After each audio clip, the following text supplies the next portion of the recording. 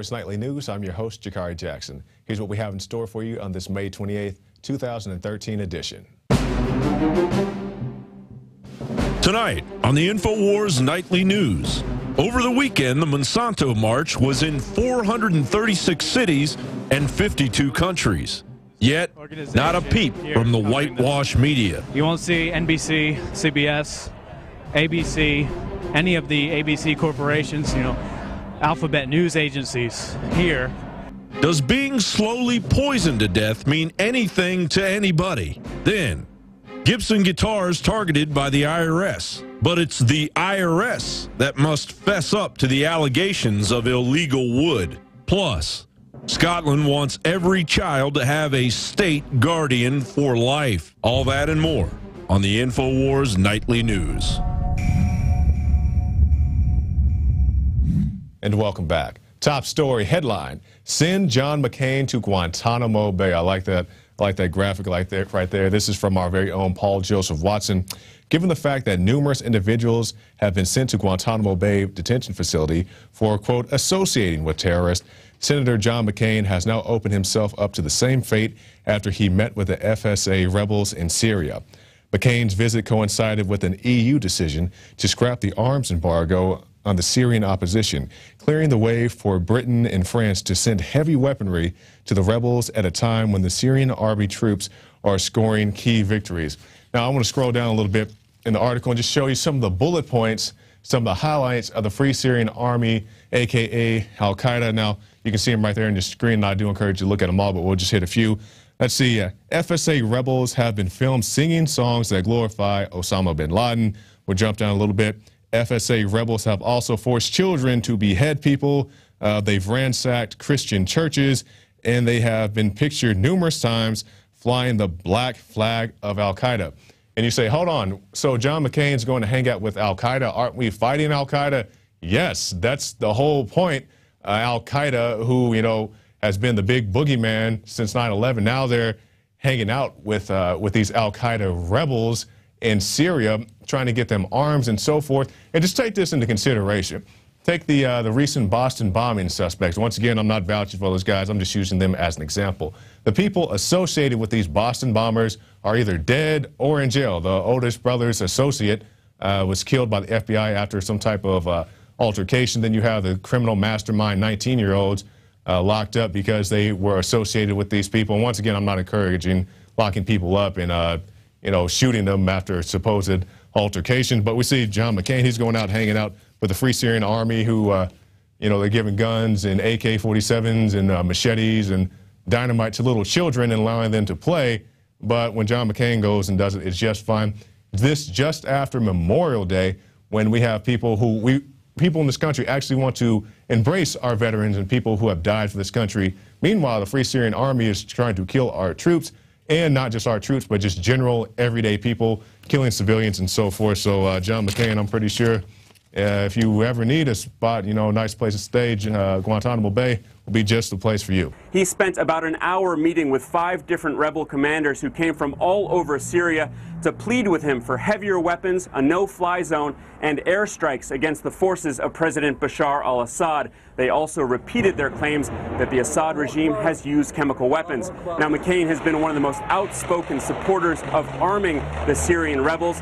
Yeah, arming uh, Al Qaeda. That's uh, Senator John McCain. We'll move on now to some Monsanto coverage. Media coverage blackout over Monsanto protest. Protest, excuse me. Now, I guess that's a lack of coverage because we've been reporting on this uh, since this past week, and we had the March on Monsanto. And there's actually one activist, one Anthony Gucciardi. And once again, we are the only news organization here covering this. You won't see NBC, CBS, ABC, any of the ABC corporations, you know, alphabet news agencies here filming this event. Because the reality is that they don't want to sell the fact that Monsanto is tainting the food supply. And of course, because Monsanto has over 500 individuals in key positions within the government and the media. And only six corporations own thousands of not only newspapers and news channels, but internet websites as well that spin themselves as alternative news. But in fact, of course, they peddle GMOs and claim it's scientific. I mean, you look around in these buildings, it's, it's amazing to see the contrast. These buildings, they represent many things that were once great about this country, but also, in a sense, they represent many of the corruption uh, corporations that this group and others are fighting against. But at the same time, you have so many people in various ways with uh, the Stop on Satan posters and others. SeekTruthInfowars.com, this guy has up here. Of course, Alex Jones Infowars. That guy looks like he uh, was grown out of the cornfield, Monsanto's cornfields, and had some type of deformity when they mixed the insect genes inside the crops. And for more on that, we have joined us via Skype Mr. Anthony Gucciardi. And thanks for joining us, Anthony. Hey, great to be uh, back on with you guys. Okay, now tell us why you went to the one in Philadelphia as opposed to the one here in Austin. Well, you know, I was scheduled to go to the one in Austin and potentially be a speaker, but I ended up traveling for family reasons. As you can tell, I'm not in my studio right now. I'm on the road. Right. And I'm glad I did, though, because I ended up going to the Philadelphia one where there was no news media at all. I mean, the whole entire event would have gone down the memory hole if we didn't have a camera crew on me at the time going down to the uh, Market Street, which is the busiest street in the whole city. I mean, there was a thousand plus people. Some people say it was around 2,000. I don't have a count, obviously, but it was a lot lot. Going down the busiest street in Philadelphia, which is a major city, you know, it's one of the top five, I believe. It's the, one of the largest cities in the United States, obviously. And the news media didn't have anything to say about it. I mean, they, they covered a cat up in a tree in the local yeah. news. There was literally a cat in a tree that they were covering and saying how great firefighters are from Memorial Day and stuff like that. But they didn't they didn't even want to talk about the 1,000 plus people walking down the street on the busiest street in Philadelphia. So I'm glad I actually went up and covered it, or else it would have been lost forever. And it's just one of those things because, you know, often they'll say, well, nobody told us about it. I mean, how can you not see a thousand plus people marching down the street in unison, chanting no GMOs and so forth? We had a chance to watch your video, at least I did a little bit earlier. Now, there's one part in particular I want to ask you about. I believe uh, it was towards the end of your video, you had a couple of skateboarders out there and you know these guys approach you or maybe you approach them and they say hey what is this all about why are all these people out here and you tell, start to tell them about gmos and another gentleman chimes in and says hey you guys don't know about gmos can you tell us uh, how that came about so that was one of the most inspiring parts is people would come up and say, hey, what's going on? You know, they would want to be on camera too. So there was a bunch of passerbys that weren't part of the march and they would just be like, hey, I want to be on TV. You know, they didn't, they didn't really know exactly what group we're with. I said, all right, you know, let's talk. And we would inform random people. They would just come up, like uh, dozens of people would come up and say, hey, what's going on? What's, what, do you, what are you filming? And myself or someone from the audience in the March Against Monsanto would say, hey, you know, we're here against Monsanto and here's the data, here's the information. And they would say, wow, I didn't know that. You know, I'm going to go home and check that out. And I had no idea I was even eating GMOs. So that's probably the most inspiring part for me is that there was actually awareness, a generation of awareness on a major scale from people, by the way, that you wouldn't even know knew about GMOs in the first place. I mean, like yeah, I said, you mentioned in the video how you had some biker type guys out there and a bunch of other people who, you know, you just wouldn't expect to see at this type of rally there was literally like a biker gang there, and uh, they had signs and everything like that. And we had people, you know, you would think that in in a city like that, and I've lived here pretty much all my life. I live in Austin now, but I grew up here, and I know a lot of people around here. And I thought, you know, there's not really going to be that much of a turnout because we're inner city. I mean, no one cares about what they're eating. I thought, you know, not a lot of people, but the people I found and talked to, they're so informed. You know, they're fans of Infowars. There was a guy with an Infowars.com sign, mm-hmm. said like "Seek Truth Infowars" or something like that. Came up and said, "Hey, you know, I, I remember you from Infowars and everything like that." There's so many people in your daily life. If you go to the supermarket or go outside or whatever, about nine out of ten of those people, honestly, have some degree of information. They're completely awake to some degree, but they don't want to show it because they feel ashamed. But when something happens like a march against Monsanto and they can go and get support with thousands of other people, they're going to do it. And that's what is awesome about, you know, what you guys are doing, what I'm doing, what others are doing is we're tapping into this amazing pool of uh, energy from these people. You know, they come out and they, they did their activism and it's amazing, but they're not going to do it unless you say, hey, come out and do it because they're ashamed and they think that no one else knows when in reality, so many people are aware of what's going on. Yeah, because that's the thing. A lot of people will think, hey, uh, if I show up at this event, I'm going to be the only person there, or maybe be one or two conspiracy theorists, and they're afraid of things like that. But that, what you just saw right there on your screen, if you're watching, was a great example. You saw thousands of people marching together peacefully. And speaking of peacefully, now you said, Anthony, across the street, right across the street from this Monsanto march, there was a gun rally. And I believe you said that there was maybe one or two officers escorting all these thousands of people for the Monsanto rally, but this uh, smaller group of people at the gun rally had uh, how many officers would you estimate? Yeah, in the video, we were doing March Against Monsanto, and we were only planning on doing March Against Monsanto. And then I look over the street and I see another rally with uh, actually the ex Secret Service guy, Dan Bongino, I believe his name was. Um, Larry Pratt was there. Oh. And I look over there and I said, hey, what's, what's going on? It must be a pro gun rally. And they say, yeah, sure enough, that's a pro gun rally. And I noticed something that there was an extreme amount of not only police, but people in military uniforms and Homeland Security there over at the gun rally when there was maybe 50 people because it started at like 8 a.m. or something, according to some of the people I talked to. And at that point, I guess it was late afternoon, and there was like 20 something officers just standing right in front of it, staring at the pro gun rally. There was Homeland Security, unmarked cop uh, vehicles with canine units, and there was military going behind the event. And there was like people watching from all corners, surrounding it completely. And here you have March Against Monsanto, a thousand plus people marching down the busiest street mm-hmm. in Philadelphia. And there was, yeah, a cop in the front with a vehicle directing because they had a permit, and a cop in the back. And in the actual march where they were rallying and getting together and chanting down with Monsanto and, and stuff that, you know, they should be somewhat concerned about if they were looking for anything, mm-hmm. um, there was one cop on on the very side of the of the entire rally of thousand plus people. But the 50 people with guns, they are treated as complete terrorists. Anyone oh, yeah. that dares to exercise their right, and they all had carry uh, you know permits and licenses and everything. Mm-hmm. They were just there, open carrying their pistols, and they were treated like complete terrorists. I actually asked the cops, you know, why are you over here? And they said, oh, you know, don't worry about it. You know, go ask our public policy officer. They don't want to talk about it. But the yeah. real, you can see where the real fight is. I support, you know, the March Against Monsanto. I've been a huge, um, you know, cheerleader for it and saying how great it is. But in the reality, the real fight, you can see where it is when you look at where the police are concerned about, where their higher ups are telling them to go and watch for those evil domestic terrorists who dare to exercise their Second Amendment. Exactly. Now, Anthony, tell us how people can keep up with you. Definitely. So I have my natural health site, which is naturalsociety.com, and then I have my more political, like gun rights site, which is storyleak.com. All right, Anthony Gucciardi, thank you for your time, sir. Thanks a lot. And not to be outdone, InfoWars had a dog in the fight when we attended the March on Monsanto here in Austin.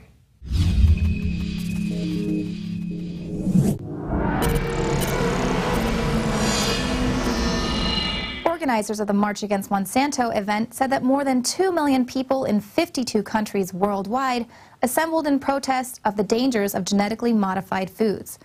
Now, you'd think that something that garnered this much support worldwide would be covered in detail in the mainstream media. But you'd be wrong. Admittedly, many local news outlets gave the event a small blurb in the online edition of their papers at 10 o'clock at night on Saturday, but there was a virtual blackout of the event in the mainstream media. Even though this was a huge global event with hundreds, if not thousands, of protesters marching down the busiest streets in major cities worldwide.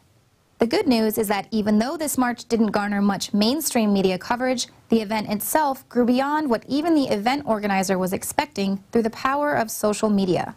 When Tami Canal created the March Against Monsanto Facebook page three months ago, she said she would have considered it a success if even 3,000 people had joined. Instead, an incredible number of people responded and turned out to rally, showing the power of social networking and the ability of the little guy to mobilize en masse. People captured video of the event and uploaded it immediately to YouTube or Ustream. Anti-Monsanto related hashtags continue to pour over the Twitter feeds, and the official Facebook page now has 157,000 likes, and it's growing. This is how ideas and movements are spread in the modern age. That is why it is so important for us to fight to maintain a free and open internet. Even corrupt Monsanto execs and their paid off politicians cannot stop the power of the sleeping giant once it awakens. Now, here at InfoWars, we're going to continue to keep corrupt companies like Monsanto and other biotech giants in check. So visit Infowars.com slash show for a variety of ways to share any of our anti-GMO stories and more. I'm Leanne McAdoo, and this has been an InfoWars Nightly News Alert. And Leanne brought up a very good point. If we don't have a free sharing internet, it's going to be hard to organize for events like this in the future. So definitely be aware of bills like CISPA and so forth and call your representatives. Anything that's already even been passed, just say, hey, get this out of here, or next election cycle, you're out of here. We'll move on now to some other news. Illinois teacher in hot water after informing students of their Fifth Amendment rights. You can't have the teachers actually teaching the students anything. Let's see, a high school teacher's fans are rallying to support him as he faces possible discipline for advising students of their constitutional rights before taking a school survey on behavior.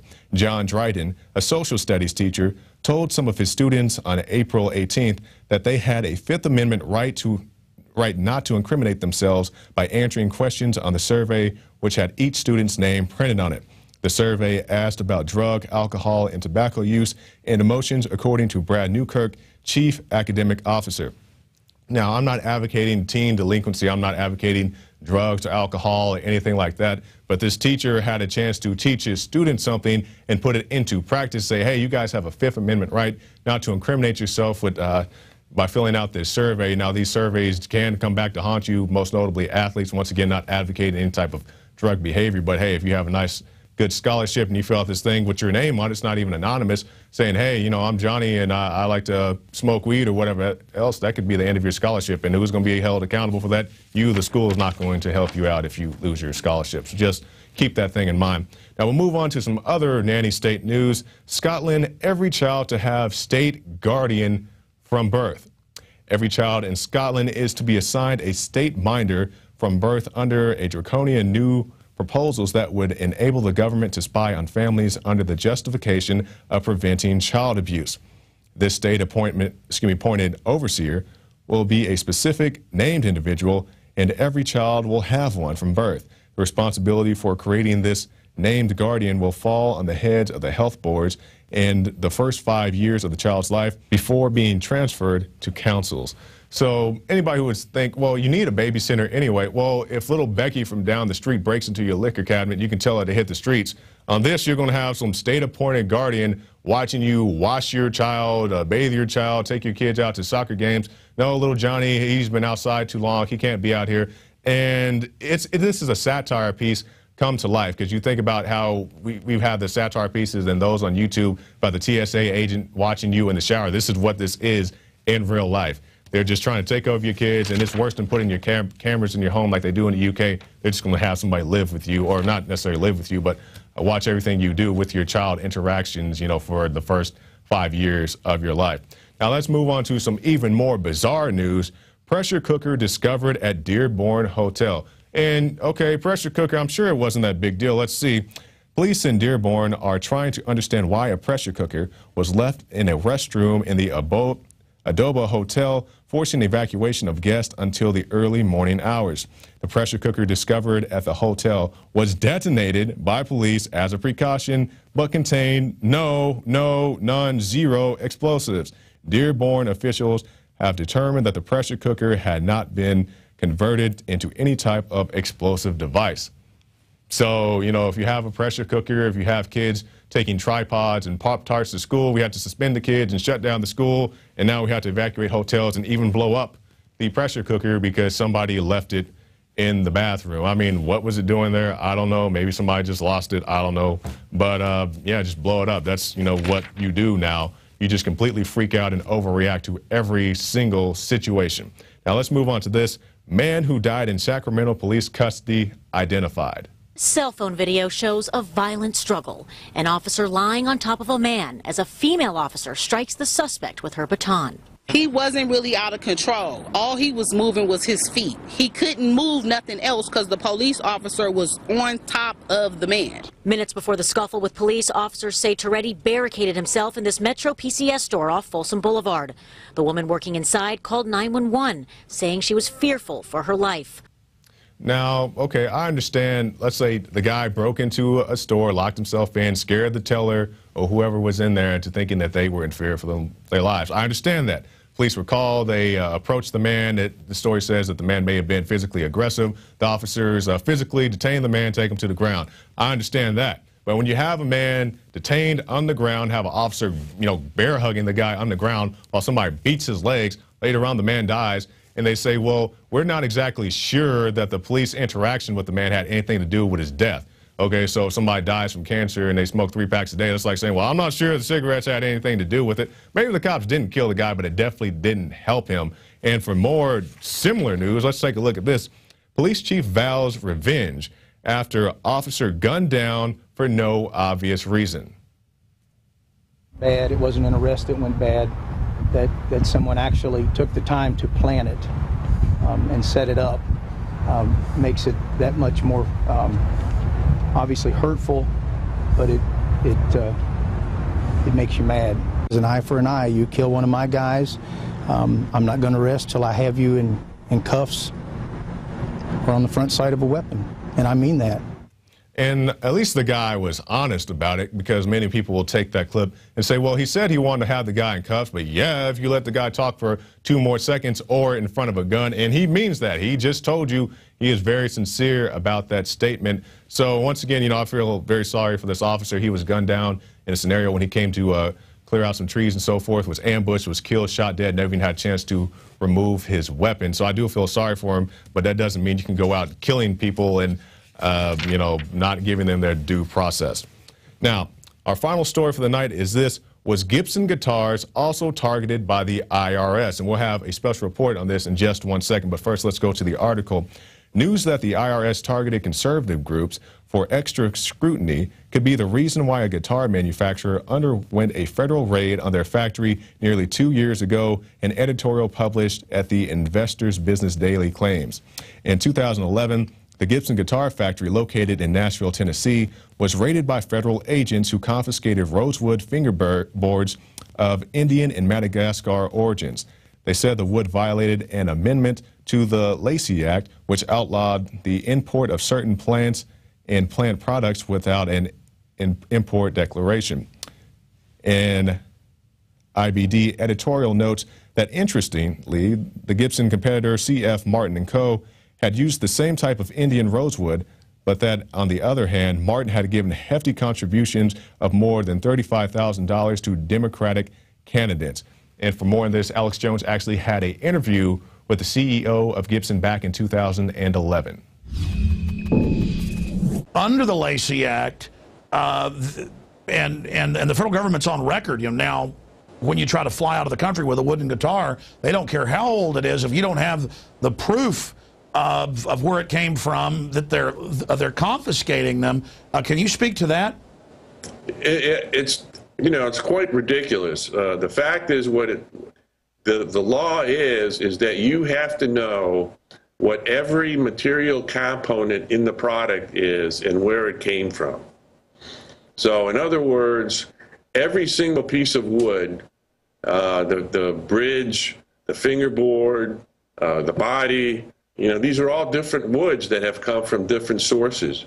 You, as a guitar owner, if you want to transport that guitar across borders, have to know exactly where each uh, piece of wood came from and what species it is, uh, which is frankly impossible for an average person to know.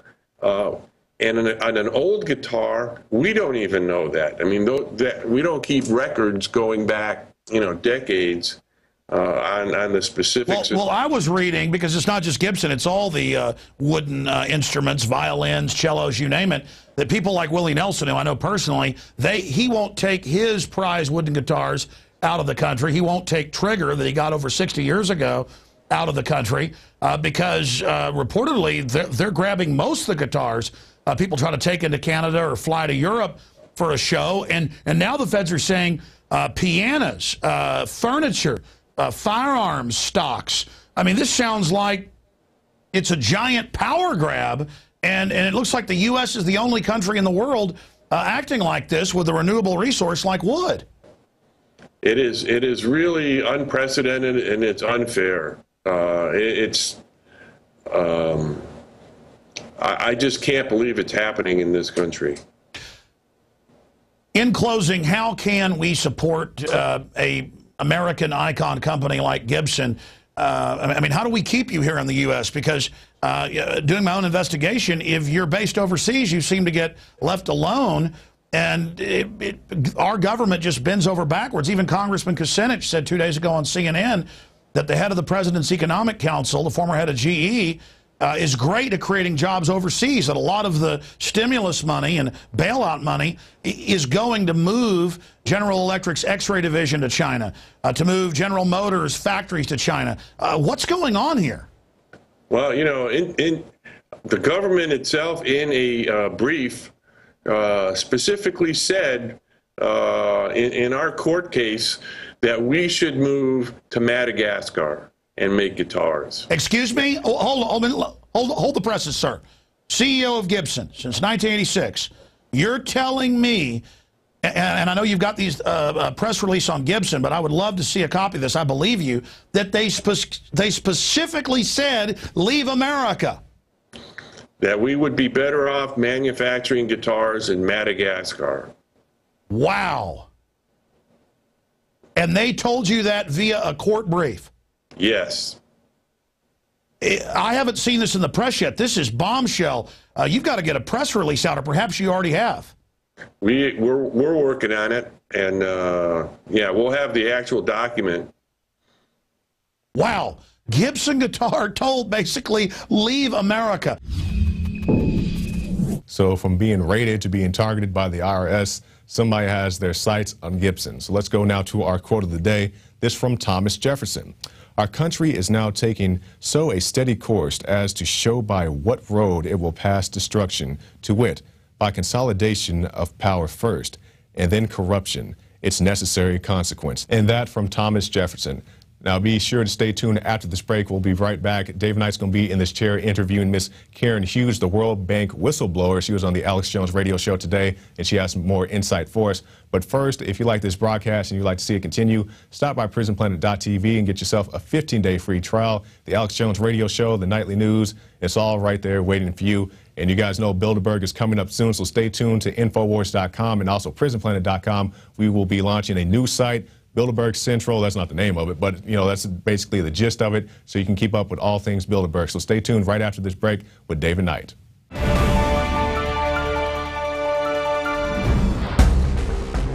As we saw in Katrina, and as we are watching now in New York and New Jersey, the federal government can't and won't help you in a crisis.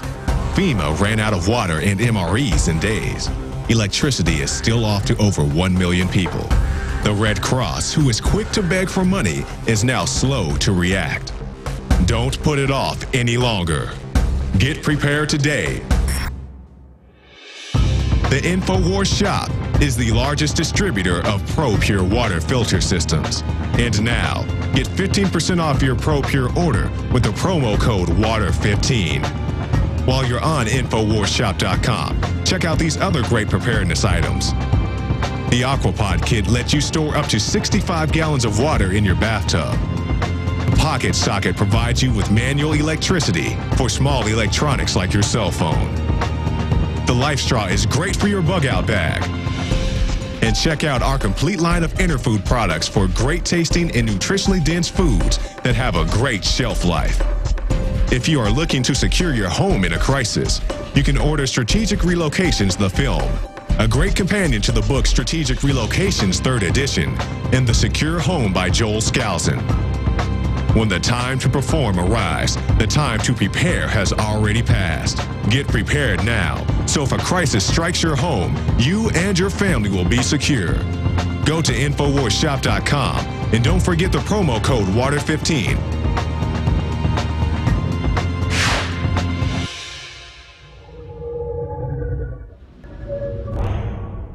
I'm Darrin McBreen, and these are some of the new items that are available now at InfoWarsShop.com. Alert the public to Obama's blatant abuse of power with the new Obama t shirt. Obama's Joker face on the front and come and take it on the back. It's time to publicly call him out for what he is a tyrant. Defend the Second Amendment with our top seller Come and Take It t shirts. And look at that women's cut tank tops and t shirts now available. Nice hat. Plus the Don't Tread on Me flag. And now you can become a micro distributor of the InfoWars magazine. Plus, get your own copy delivered right to your door each and every month. And if you're tired like I am of you and your family being exposed to polluted drinking water, get the Pro One high performance water filter. It gets rid of all pathogenic bacteria, cyst, fluoride, heavy metals, and numerous other contaminants. So join the revolution at InfoWarsShop.com.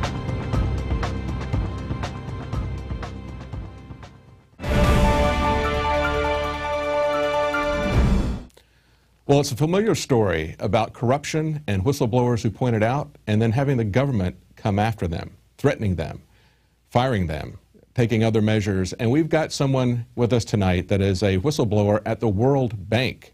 She's talking about the corruption that she saw there and how it went ignored and unaddressed. And now she is actually being attacked by Eric Holder in the Department of Justice for something that is not really even in their jurisdiction. Now, a lot of our viewers are familiar with the Federal Reserve, but they may not be familiar with the World Bank. So just to catch you up a little bit on that, the World Bank was created in 1944, and the principal stakeholders in that were the United States and the UK. Now, in the first uh, years of the World Bank from 44 to 68, it was mostly financing income-producing infrastructure in, in countries. Then in 68 to 80, there was a change. At that point, Robert McNamara became the head of the World Bank. He was appointed by LBJ at the end of that administration. And instead of uh, financing mostly income producing infrastructure, they started financing social services. And as a result, third world debt soared, increasing at an average annual rate of 20% a year.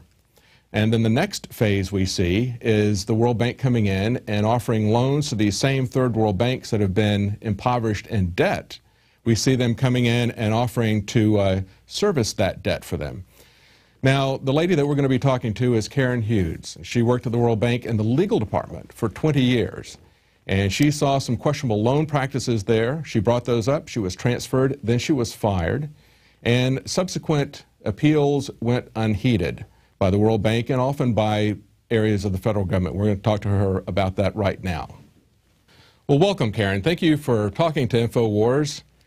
It's uh, always an honor to talk to somebody who is a whistleblower out of a concern for integrity and, and to see that the right thing is done. And your personal story, I think, is as important as what has happened with the AP reporters or with the IRS scandals, because we see the same sort of thing happening where somebody sees something that's wrong or they're investigating something that, that may be wrong or an embarrassment to the government. And instead of correcting the problem, of course, the government comes after them. And so that's essentially what they've done with you. Tell us a little bit about the, uh, your background there at the World Bank and, and what you were doing prior to uh, the discovery of corruption there. I was a lawyer in the World Bank legal department, and I was just doing my job as a lawyer in the institution. And so when they started to um, retaliate, and the retaliation was very specific and very direct, I was put on probation twice. It was an attempt to intimidate me. And at a certain point, it was an attempt to make an example out of me to make sure that other people who were also seeing corruption wouldn't report that either. And let's talk about that corruption that you saw. You actually saw some corruption involving a loan to the Philippines government, is that correct? Yes. As a matter of fact, the president of the Philippines, Joseph Estrada, was impeached, mm-hmm. and he had to pay back uh, millions of dollars that he had stolen from the Philippines people. And actually, I think at the heart of this, there was a default with a major bank there that uh, I believe was around $900 million that uh, went back on the taxpayers of the Philippines. Is that correct? Uh, well, it was $500 million in terms of the bailout because the people who had their money on deposit in Philippines National Bank got nervous. What had happened was the man who owned Philippine Airline, Lucio Tan, uh, was a, a, borrower in default, and he bought the shares of the uh, Philippine National Bank, and the depositors didn't want to have their money on deposit in a bank which was managed by a borrower in default. And so they took their money out, and the Philippine Deposit Insurance Corporation had to bail out the bank for 500 million. And then the World Bank had uh, 200 million dollars of a loan that had to be canceled because the government didn't comply with the conditions. And then there was matching uh, financing from Japan, and that also got canceled. Now, so you- it added up to this- 900 million. You saw this coming up, and, and you blew the whistle on that. You said this doesn't meet our standards of, of loans. Is that correct? Yes, I wrote a Bank. letter that I wanted the World Bank to give to the government of the Philippines, warning them that we would not be able to disperse the loan because the conditions weren't being met. The conditions, there were two conditions that weren't being met. One was they were supposed to strengthen their banking supervision, and it's certainly not banking supervision when a borrower in default buys the bank. yeah, they were supposed to change their legislation, and and the other condition was that that Philippines National Bank was supposed to be privatized. And when you're selling shares, employee shares to a borrower in default, that is not privatizing. What Now- happened was there weren't enough this- shares left. Now, when you saw this, you reported this to the uh, World Bank uh, Audit Committee, the audit, the, the audit committee of the World Bank, right? And then two days later, they fired you. Uh, what happened was I went to see Jim Wolfensohn, who was the president of the World Bank at the time, together with the man who represented the Dutch government. And we said that where there was this problem in the legal department that I was getting reassigned when I was doing my job. And Jim Wolfensohn said he would handle it. And his to, his way of handling it was to give the problem to tell my boss that I'd been up to complain about him. and so then I went to the Treasury Department and I told the Treasury Department that if the uh, U.S. management was not going to play by the rules, that the other countries in the World Bank were going to uh, make sure that we wouldn't automatically appoint the president of the World Bank. For the first 66 years, the World Bank was created in 1944, and for the first 66 years, the U.S. could just name whoever they wanted to as the president. Because But the U.S. warned- is a major shareholder in the World Bank. Is that correct?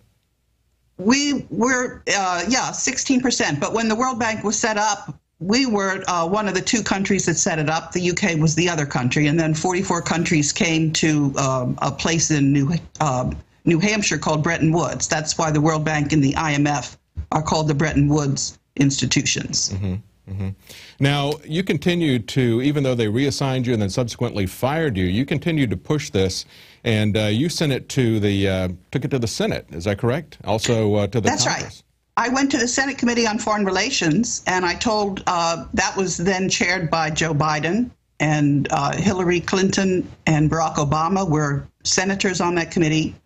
And I warned them that we were going to lose the ability to appoint the president of the World Bank, that there was corruption going on, that when people inside the World Bank cannot report that there are accounting problems, which is what that is, uh, there was a cover up to the board. And you can't have a cover up to the board in a bank because money goes the wrong way. hmm Now, when they came out of this, the, actually the Senate uh, sent letters to the World Bank, and they essentially ignored that, right? As well as firing someone else, uh, a, uh lawyer for the uh, staff association. Oh, they fired a whole slew of people, and it wasn't just letters. They also commissioned a government accountability audit because this was major, major corruption. Mm-hmm. Yeah, there was wasn't there legislation also passed by Congress? There is legislation in effect now. Um, they, the World Bank came to Congress and asked for some money, and Congress said not as long as the GAO audit is not going forward and you're firing whistleblowers. hmm we we have to do some oversight here. We have to be serious about this. And they also took very much to heart um, the uh, warning that I had given them, which was that the U.S. had lost its credibility with 188 ministers of finance. Now, Paul, This is not a good thing. Right. Now, Paul Volcker, former uh, head of the Fed, also got involved, didn't he? And wasn't his involvement to essentially say, move along, there's nothing to see here? Uh, yes, what happened was the Dutch government asked for the audit committee to get involved, and uh, Pierre Duquesne, who was the chairman of the audit committee, commissioned uh, Paul Volcker to come in and look at this corruption. And what happened was uh, there's uh, something called the Institutional Integrity Department that's supposedly there to fight corruption. What that group does is it serves as a goon squad to intimidate any staff member that's going to report that there's an uh, a fraud. This is uh, a terrible problem. So this and is- so there were 16 staff members who were members of the um, Institutional Integrity Department that tried to tell Paul Volcker what was going on. And they got retaliated against, and they ended up with um, being compensated for how they were being um, retaliated against. So we have this major financial institution that we've got a major stake in, as the uh, U.S. citizens do, the taxpayers do. And they're doing questionable loan procedures of hundreds of millions of dollars, billions in many cases.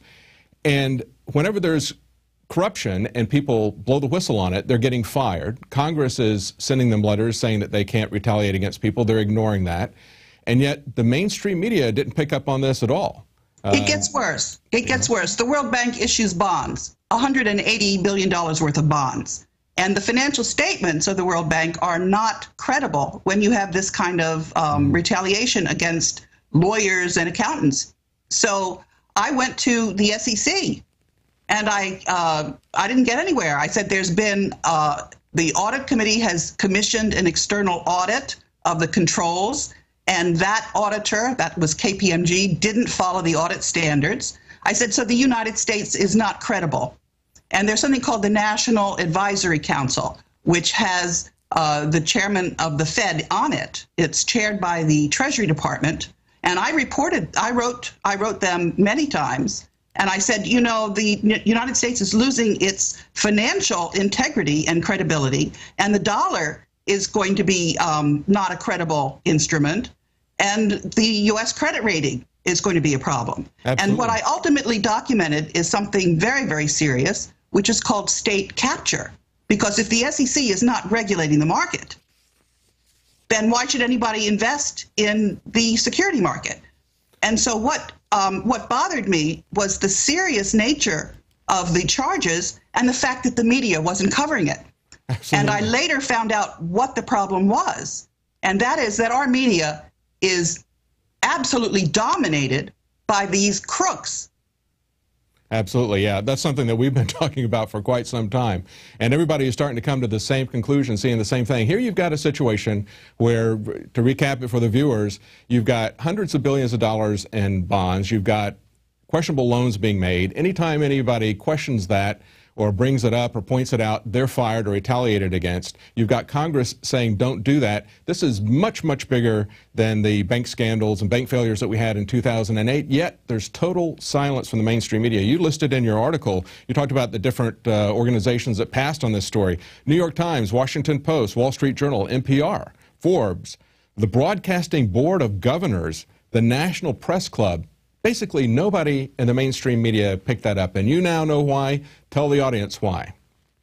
Okay, there's a very accurate analysis of the markets, which was done by the, um, it's a, a university in Switzerland, which is known as the best university in Europe.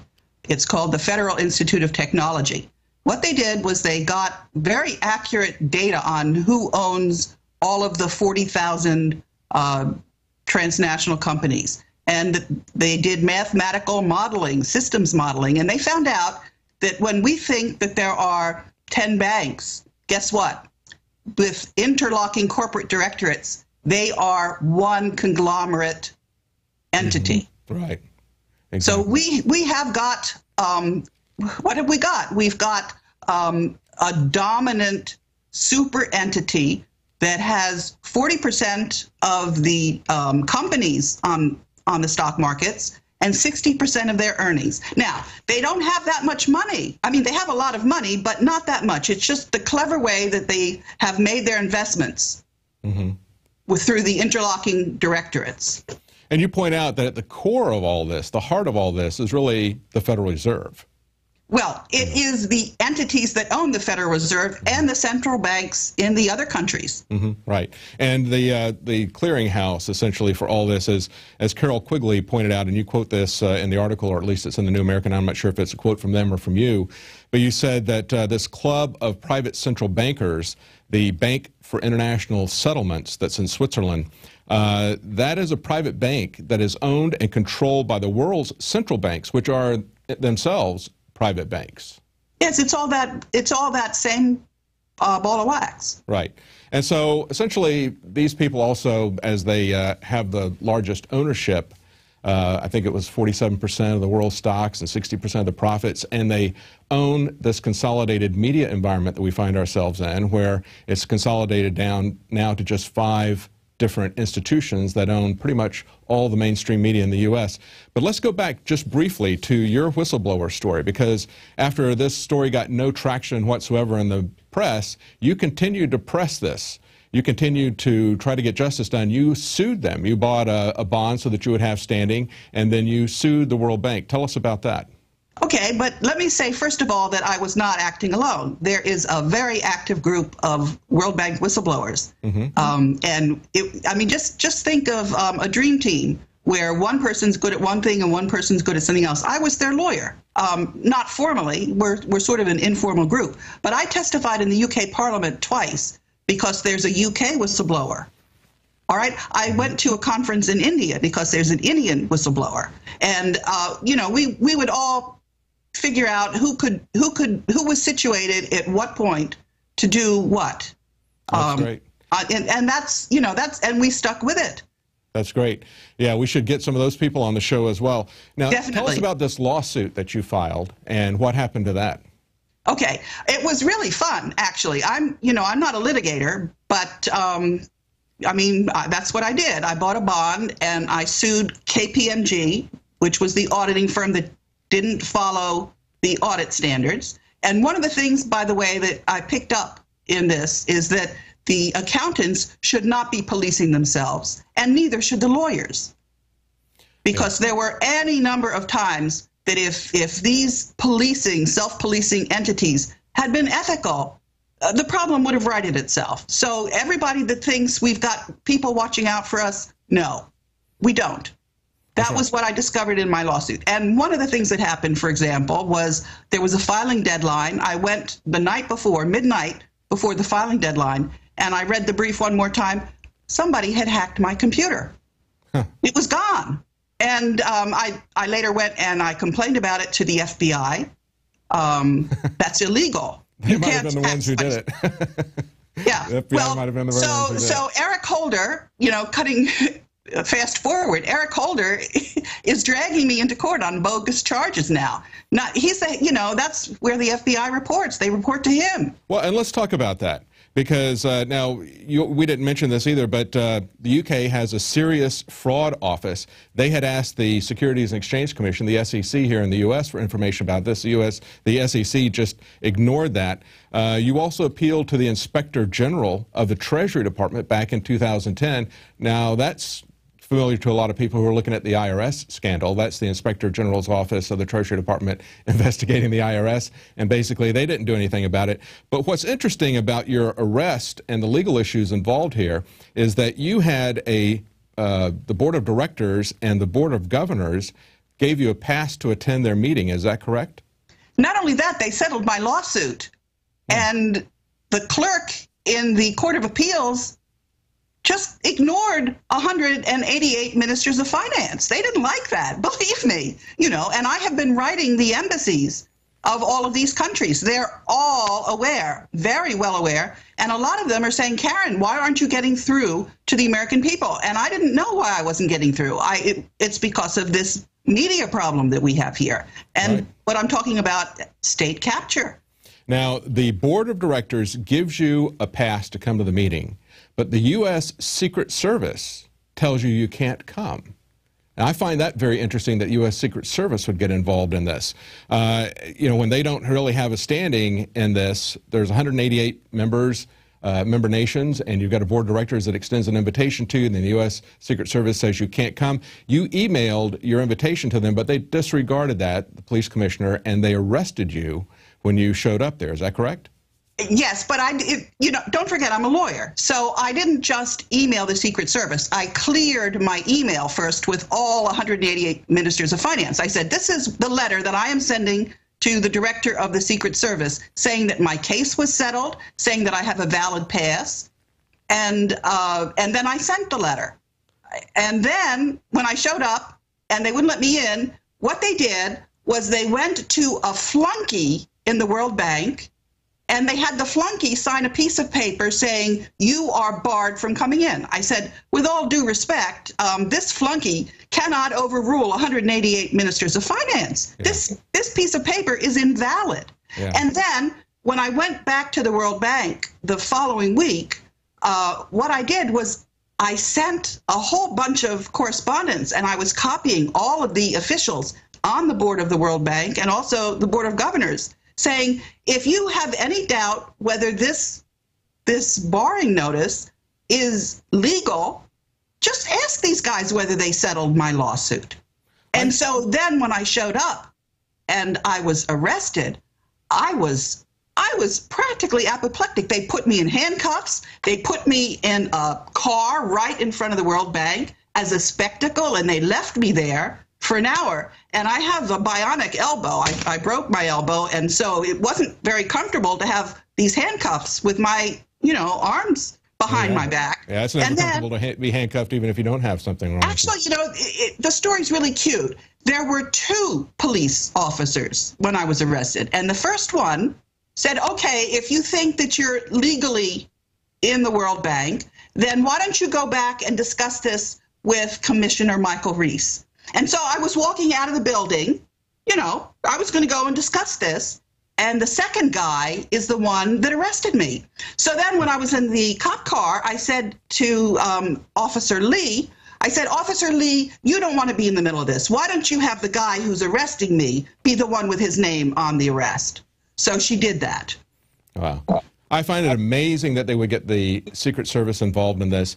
And then what's happening now, you've got a court uh, date coming up on the 30th. And That's right. Eric Holder is getting involved in this. This is not a federal crime, unlawful entry, and yet they're making, literally making a federal case out of it. I, I find it amazing what links they'll go to to try to shut you up. Well, they thought they would intimidate me, but I don't work that way. I was captain of the NYU fencing team. Um, I'm just looking to see what foot they're on. And so don't forget this this citation to appear in court. By the way, if, if they don't call this thing off, I'd like some company there. It's on the 30th, and it's at 10 o'clock, and I'm in courtroom C10 of the Superior Court of the District of Columbia Criminal Division. And my charge is that I have violated the um, the DC statute. So I've been in touch with um, the general counsel of the District of Columbia Council, and I've given him all the documents. And I said, you know, this is um, this is kind of bad lawyering if the person who has signed this notice doesn't have authority. Uh, why don't you get involved here? And he said, well, I don't think it really is anything that involves me. I said, you know, this is um, a corrupt business environment, and maybe the World Bank and DC's biggest employer ought to take notice that they're working in uh, an environment riddled with corruption. This is corruption. Oh, absolutely. Well, we have the District of Columbia ignoring a Supreme Court ruling for five years about firearms and the Second Amendment, so it doesn't really surprise us in that regard. Let's move on to the corruption that you saw there. Now, you, you, made a lot of statements about how the global financial system is dominated by a small group of corrupt, power hungry figures centered around the privately owned Federal Reserve. Tell us what you saw there firsthand that convinced you of that.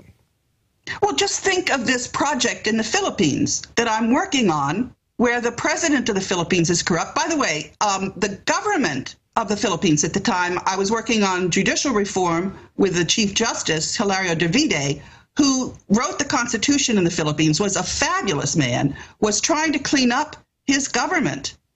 So if the World Bank is not helping him by having the lawyer reassigned, that is corruption of a huge scale. Just think about it millions and millions of dollars that ought to go to fight corruption in the Philippines is going to line uh, Estrada's pocket. And, and the government actually, when they, um, after they impeached him, they tried him and they took back the corruption. They, they, re, uh, they repossessed a lot of the, the things that he had uh, put the corrupt money in. So this, this is clearly showing the corruption. Now, the other whistleblowers that I'm talking about, these are people that were reporting accounting violations where money that was supposed to go one place went another place. And when they reported it, they were retaliated against. And when you have that, what that does is that provides a disincentive for other people that see money going the wrong way. Yeah, yeah. Well, it's not and there just, was, yeah. I was just going to say something about the Institutional Integrity Department. Mm-hmm. This is a group that acted like a goon squad. Hmm. They, they weren't they weren't investigating corruption. They were investigating people who were trying to prevent corruption.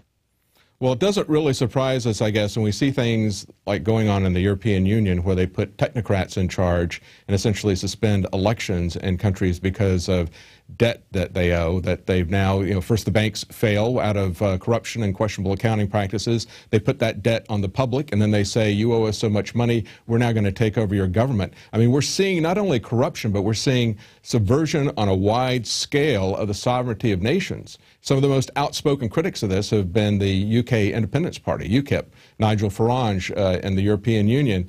And now we see that uh, there's an article that just broke in The Guardian that says that the EU exit would put U.S. trade deal at risk, Britain is warned, by the Obama administration. And what they're threatening to do is they're essentially blackmailing the uh, United Kingdom to stay into the uh, stay in the EU, saying that they're going to to take away this deal that encompasses half of the world's GDP and a third of its trade. They're essentially blackmailing the UK with the paper money that the Fed is printing because we've been off of the gold standard for quite some time. And you've got a lot to say about the gold standard as well. That's right. Tell us a little bit about that.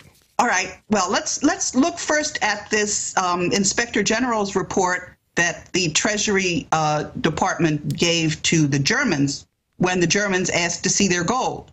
Mm-hmm. The Germans didn't like um, to get a paper audit when all they wanted to do was to see their gold, which was in storage in the Federal Reserve. And that was just so back in Germans, January.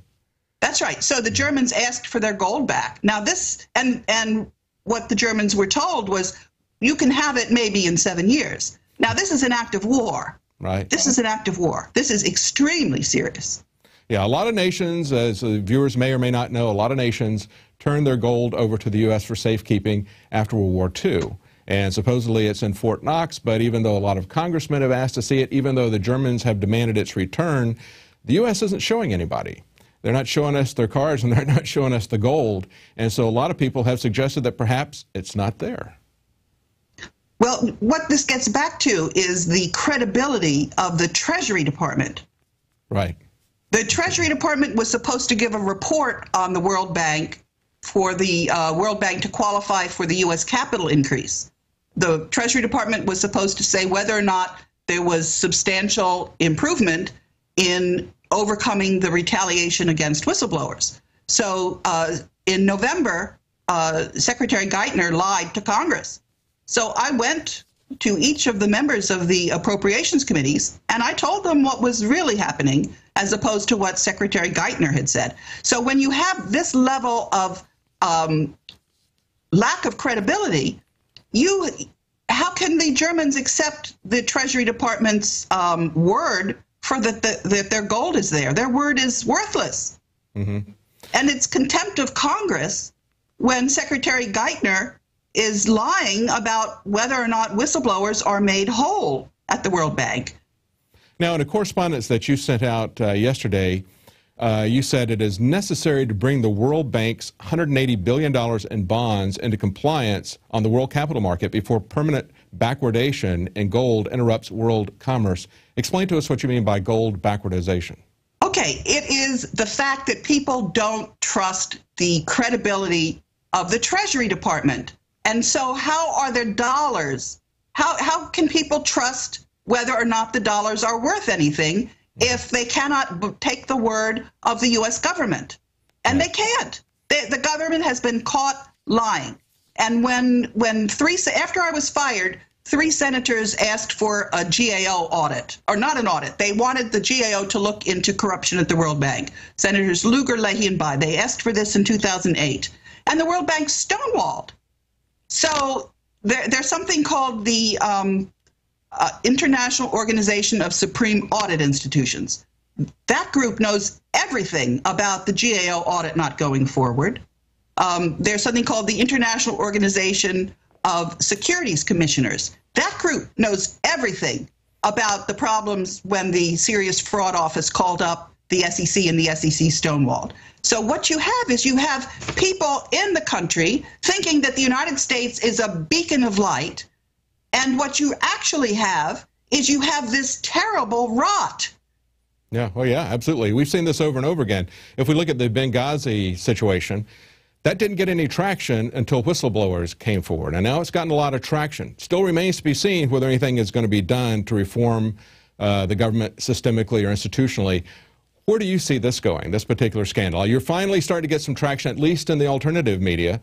Uh, we didn't catch up on the story until uh, just today, but uh, and it's just been the last week, I think, that you've started to get uh, some traction in that story. Where do you see this headed? Actually, I think it's already uh, just about solved because although I could not get through to the um, public, I could get through to the state attorneys general because the states are required to protect bondholders in their states. There's blue sky securities laws. So I got through to the states big time. I got through to the governors, and I also got through to the chief justices of the state supreme courts. Because when the um, the board of governors settled my suit, and the clerk in the court of appeals ignored that, I went to the judicial conference, which is chaired by the chief justice of the Supreme Court. And I told uh, John Roberts that if he didn't start straightening things out, we were going to have a currency war. And I could say this quite accurately.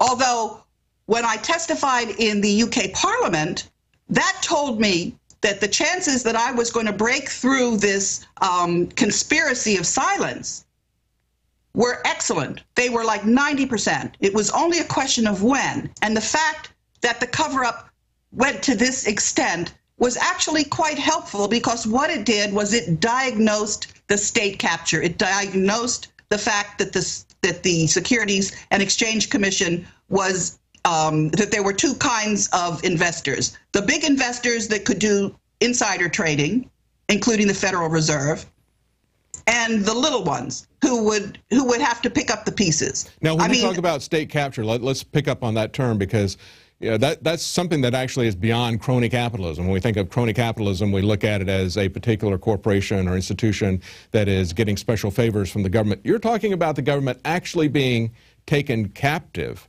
by these corrupt organizations. when That's talk about state exactly what I'm talking about. And if you go on my website, you will see the letters that I'm writing to the various entities telling them that if you don't report this at this point, that is state capture. When I called it state capture, I, and I don't use that, I'm, I'm a lawyer, I don't use that term wildly. This was during the presidential election when you had um, Barack Obama um, campaigning against Mitt Romney, who had a lot of money coming in from outside, and Mitt Romney's um, uh, national security advisor was Robert Zoellick, who the board didn't want to reappoint for a second term as president He had been because of this of the- corruption. He had been president of the World Bank. Robert Zoellick had been and, and had not gotten a second appointment because of corruption, and yet he was uh, Romney's what financial advisor? What was his position there? He was he was the uh, national uh, security transition planning chief, and I asked CBS to have a question during the presidential debate about this corruption, and CBS knew all about the corruption because um, during the David Letterman interview of um, Cameron, they raked Cameron over the coals about what had happened to Andrew Mitchell, who was fired as the um, the man in charge of the development aid in the UK because the UK gave a lot of money, and here was all this corruption at the World Bank, and here was this problem with a serious fraud office getting stonewalled by the SEC. So CBS knew all about the corruption and was able to rake David Cameron over the over the coals um, at, at one point, what happened with um, Mitchell was um, Mitchell, after he was fired, there was something called Plebgate. They were just giving him a terribly hard time in the UK. So here's CBS, who knows exactly what the story is, and yet they're not putting this question during the presidential election when it's so relevant for the choice of who's going to be your president. Right. So that's state let's- capture. Let's let's uh, let's kind of wrap this up now. This, where we stand right now, we still don't have any mainstream media covering this yet, but uh, you're getting a lot more exposure in the alternative media. Uh, you still haven't had the federal government do any. res- They're basically ignoring this, and there's not really been any fundamental change in structure with the federal government or with the World Bank but you feel that things are starting to turn because you have uh, informed uh, at the state level. You've informed right. attorney generals and courts and that sort of thing as to what's happening. Have they done anything, or uh, to, to, Yes. to? Okay, tell us about that. All right. Um, you've seen a number of state militias. This is not an easy thing for the state governors to do. They've been getting uh, national security warning letters, but they're signing this legislation. You see um, a number of states that are now moving to have uh, the precious metals recognized as legal tender. Utah has done this, and 12 other legislatures are considering this. So, the, yes, the states are very. And I, I had a conversation with um, the states before I went on coast to coast uh, to find out, you know, just just to let them know that I was going to be talking about these things and that I was having this problem with Eric Holder. And let's get back into the backwardation. This is this is something that makes me um, nervous, but also makes me realize that we are going to come to a good, happy resolution. Backwardation is when you don't sell your gold because you're afraid that the paper currency is not going to be worth what your gold was. And we're starting to approach that situation. And if you get into that situation, you don't have a way to finance international trade, and the world goes into a meltdown. So I've been warning the governments that the time to correct this problem is now. And I've gone to uh, the, the Joint Chiefs of Staff about this. That's what I was talking to them. Uh, you know, I said, we're, you know, we're, what, what's your what's your plan here? Um, do you want to go into gold backwardation? Do you want to um, go back into the Middle Ages with bartered trade? Is this where you're headed? And they said, Are you asking us whether we want to have martial law? I said, No. I said, What I want you to do is I want you to look at what's going on, take a long, hard look at what's going on, and I want you to laugh Eric Holder out of office. So the first thing they responded to you was, "Do you want us to have martial law?" That's one of the concerns that we've had is that they're looking at an implosion and that they look at the only way that this is, they're going to get out of this is to basically come down with an iron fist on everybody as everything implodes. You're hoping that perhaps they may go back and uh, reform themselves so that they now have the full faith and credit and they can continue on a paper currency. Is that what you see as a way out of this? No, no. I'm I'm really not very interested in what they want to do. I think they I think they've um, shown themselves to be pigs at the trough that are not apt to understand how they're coming across to the rest of the world. They're blind to that. Or they would have seen this coming and they would have just realized that they had to be subject to law. But there's a very easy way out that has nothing to do with them. And that is for the states themselves. Um, there are all kinds of things the states can do. They can um, establish state uh, banks if they want. Um, in any event, Which we have in North Dakota, I believe, something to that effect. that's right. There, there are any number, uh, but the, the the issue is that we are running out of time. Um, but what you have is you have all of the countries of the world that understand this, and we're all pulling together. It's it's a coalition, and it's really quite um, dramatic and beautiful to see how this. I've gotten a number of uh, phone calls from the embassies that I faxed. If you look at what I've been faxing them, I've been explaining to them uh, about all of the articles that have come out now and these interviews that I'm getting, and they're all quite encouraged.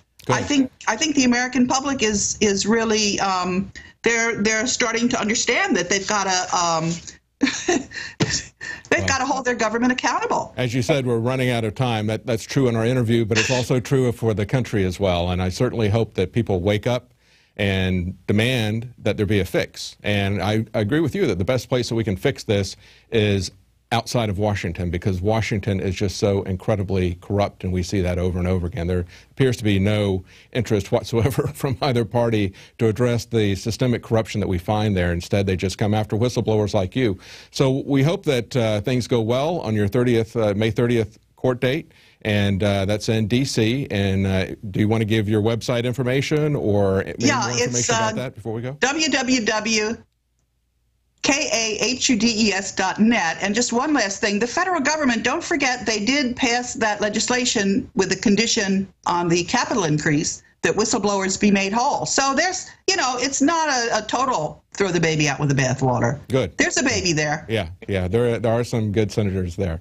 Well, thank you very much for talking to us, Karen Hudes. And thank you so much for standing up and doing the right thing and being vocal about it and pressing it. That, that's, I think, the greatest hope that we've got is that people like you who are on the inside who see things that are wrong not only speak up about it but are persistent and have a backbone when the system turns against them. And you certainly have done that. And you certainly have our gratitude. Thank you very much.